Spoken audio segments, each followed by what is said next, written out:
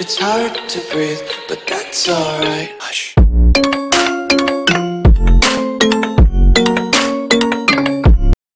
Senhores, Levanta Wagner mais uma vez. Vou gravar um videozão parado aqui.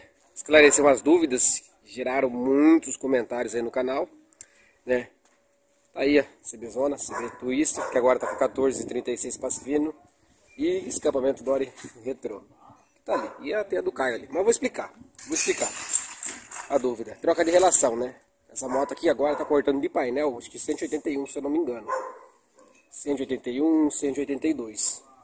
Muita gente nos outros vídeos, vou deixando o link no comentário fixado do vídeo dela, quando eu tava com o peão 15, ela deu 170 e tal. Tem outros vídeos no canal aí, tem uma playlist se vocês procurarem. Eu vou deixar no final do vídeo a playlist, vai aparecer aí, vocês, vocês entram aí e assistem, né? Troca de relação. Essa moto é uma versão ABS, certo? Ou seja, trocou a relação, ela vai continuar marcando certo. Por quê? ABS, versão ABS 2018 em diante, isso aqui se não me engano é 2020, 2021, 2020. É o sensor de velocidade dessa moto é na roda. Certo? É na roda.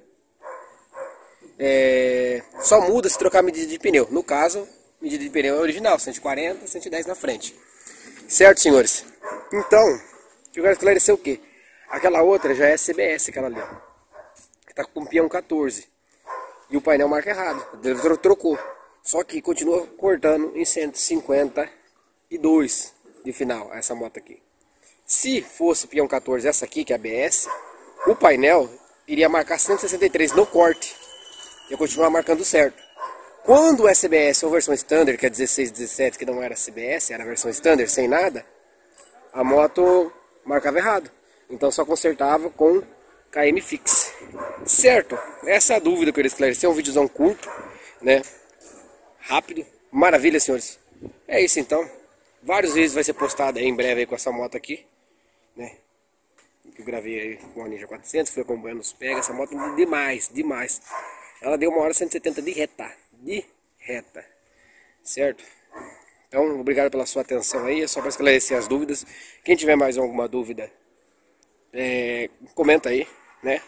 Comenta aí que eu vou esclarecer. Maravilha? Fique com Deus então e até o próximo vídeo. Boa!